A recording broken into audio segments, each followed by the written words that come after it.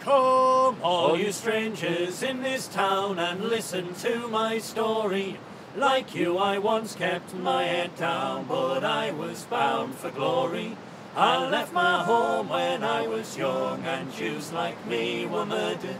The sea was cruel to Hartlepool, like cattle we were herded.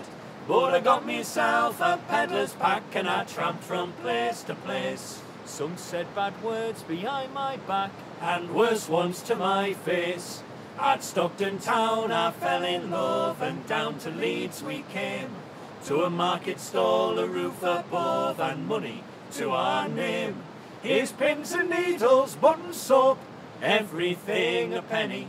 And soon my stall became a shop, and one shop became many. When I needed help, a partner came as swift as a dispenser. And he wrote his name beside my name. And we were Marks and Spencer. So I could tell you, get on your bike, don't sit at home and hide. But it's hard if you don't have a bike and you don't know how to ride. But I'll have you know before I go, though this place seems filled with dangers, they won't tell you because it's true. This town was built by strangers.